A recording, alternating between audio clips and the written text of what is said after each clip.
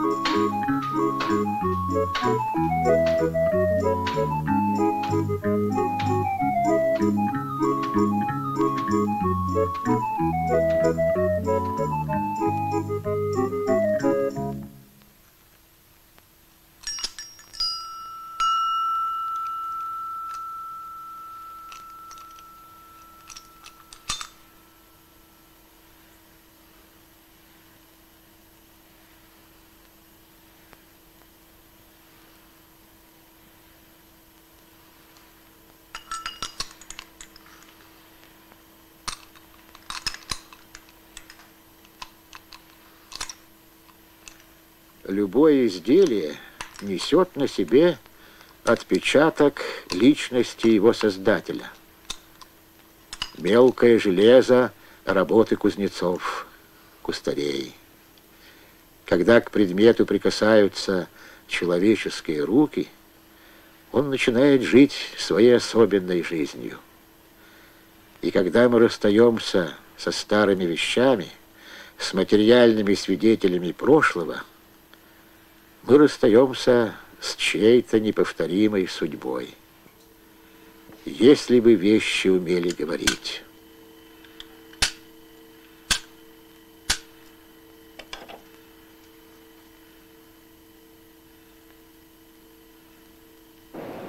Платье и пальто можно купить на втором этаже первой линии.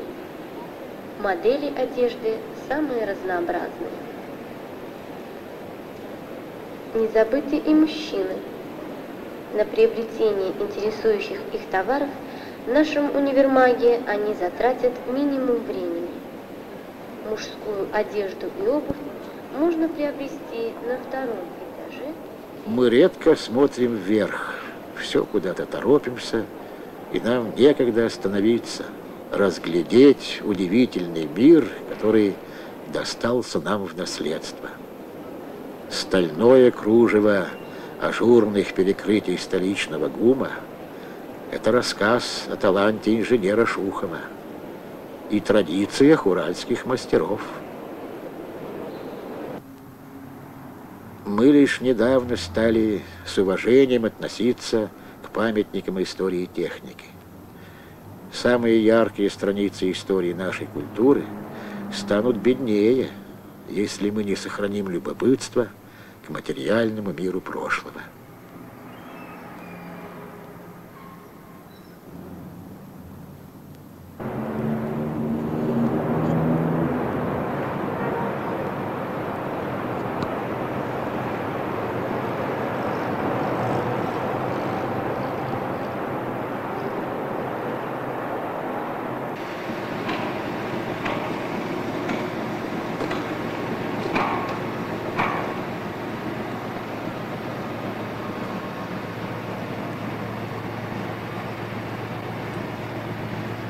Когда мы реставрируем старые, мы всегда что-то теряем.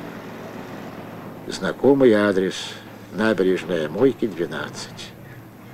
Наверное, иначе этот дом сохранить невозможно.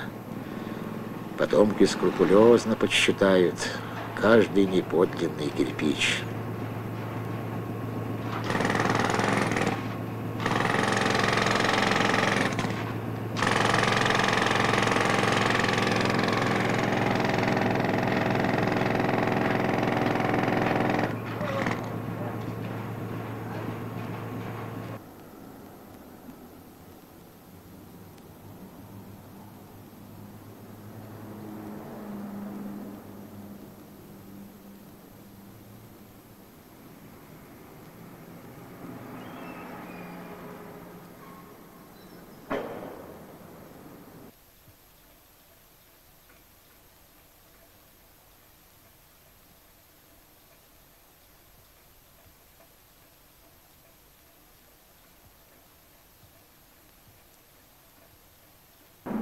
В музей всегда попадает только то, что уже признано.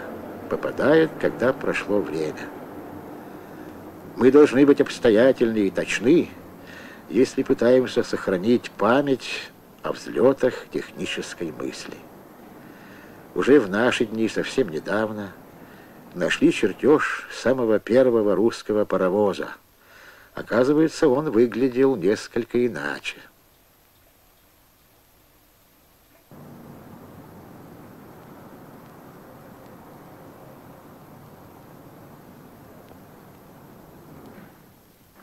Нашелся в далеком селе Нижняя Синечиха человек и восстановил во всех подробностях памятник русского зодчества, Спасо-Преображенскую церковь с редкостным девятиглавием. И в сельском музее русского быта проснулись звуки минувшего.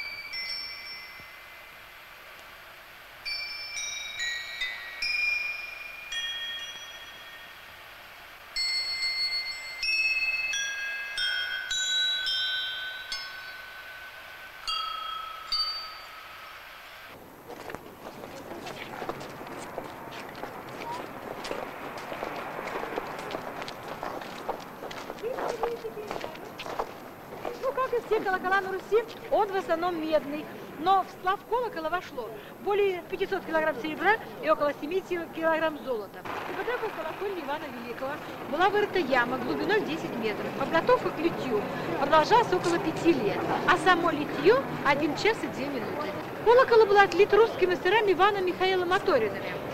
Во время пожара 1737 года колокол тоже пострадал во время этого пожара. Бревна, которые лежали над ямой, загорелись и стали падать прямо на колокол.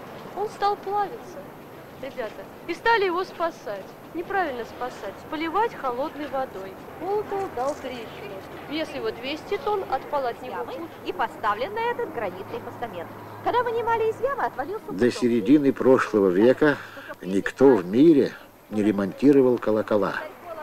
Впервые это удалось уральскому инженеру Славянову.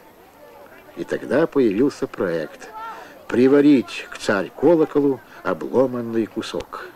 Но тогда, наверное, памятник мог потерять живые приметы истории, и мы бы никогда не узнали, о чем металл может рассказать. Посмотрите язык, который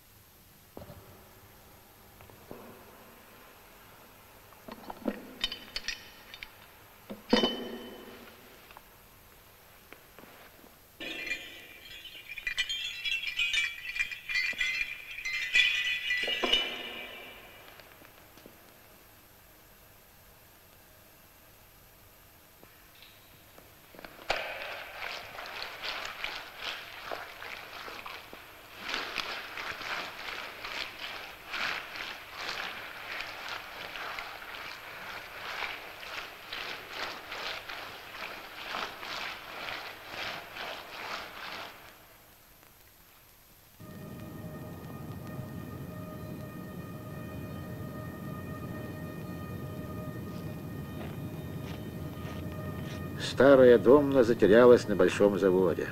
У нее славное прошлое. Отсюда начинался путь нашего железа в историю. Самой же интересной частью собора является колокольня. Она трехярусная, как бы в три этажа. Колокольня Петропавловского собора и по сегодняшний день это самое высокое архитектурное сооружение в Ленинграде. Высоту она составляет 122,5 метра. Григорий Лупов, Захар Белоглазов, Иван Лаптев, Степан Ярыпалов, Самойло Стерхов, Марсентий Коновалов, Никифор Гмызов, Василий Замараев.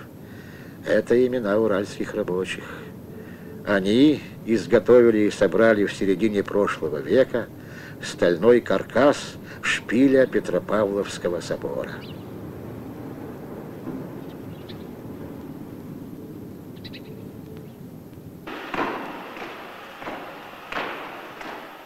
Был их путь в столицу. Сначала варили металл, не сразу он получился. Потом старались вальцовщики, кузнецы. Собрали каркас шпиля на заводе, отладили. Разобранные везли шпиль через всю Россию. По этим ступенькам поднимали мастеровые свою многотонную ношу.